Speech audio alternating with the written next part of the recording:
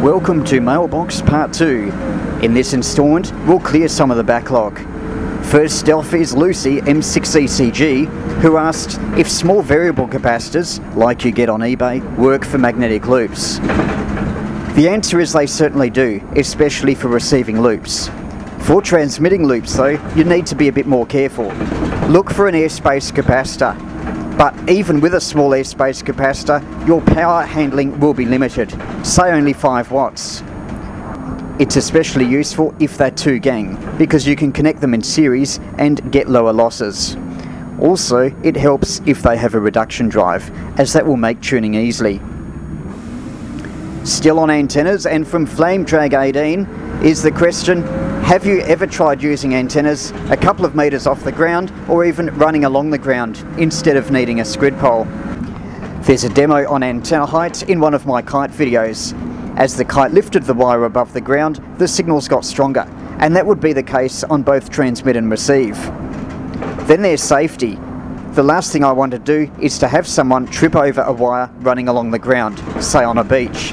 It's the same if I have the antenna one or two metres off the ground, as people will run into it. And did anyone mention EMR? So, overall, it's all too hard. Much better to use a squid pole and get the antenna a decent height above the ground, and your results will be better. Violinist Warrior suggested I do a segment on obtaining a license. It's probably worth more than one video, and it's a good idea.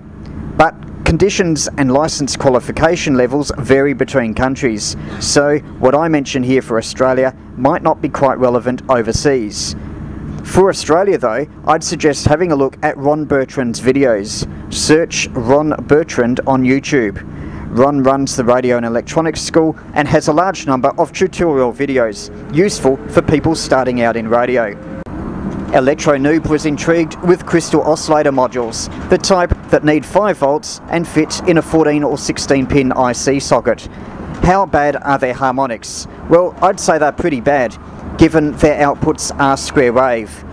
If you're going to use them seriously, I suggest adding a low pass filter, comprising of 3 capacitors and 2 inductors on the output. Formulas for calculating their values are widely on the internet. There were quite a few questions about the two transistor FM super regenerative receiver. Well, the super regen receiver draws only 1.3 milliamps, which is tiny. You can work out how long a battery will last by knowing its amp hour rating. Let's say you've got a 9 volt battery that has a capacity of 100 milliamp hours. I'm just guessing here. Given that the radio draws 1.3 milliamps, you do a simple division and you end up with around 70 hours of operating time. This is also highly relevant when you're planning batteries for QRP outings. You need to know both the transmit and receive power consumption and also the likely duty cycle so you can work out your power budget. From Electro Noob again, after watching me run after kite antennas, is I should release a DVD on physical fitness. Unfortunately, that's not very likely. My personal view is that pursuing physical fitness for its own sake is boring, although some people get a buzz out of it. If you're like that, then the only thing that I think works is to build some degree of physical activity in your own lifestyle. I must admit I'm lucky where I live because everything's within walking distance, including the beach. And still on kite antenna videos, there is certainly a great response. Some suggestions were for other types of kites, for instance a French military kite, and don't forget the bleed resistor. I've even felt static with 20 metres of wire on a squid pole, and it would no doubt be more with a longer wire supported by a kite. And there weren't even any thunderstorms around, the weather was just sultry. And have I thought of balloons? Well, that's a possibility, but I believe the wind needs to be very still, and living by the beach, there's usually some breeze.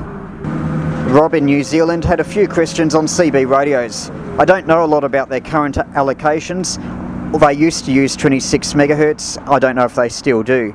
And I can't comment on the legality of them using 27 meg. As for contact with Australia, definitely possible, but very unreliable. And from Andrew VK1DA, yes it was Ron VK3AFW whistling a CW response when I was calling at the last QRP by the bay. Quite a few nice comments on the improved sound and pictures.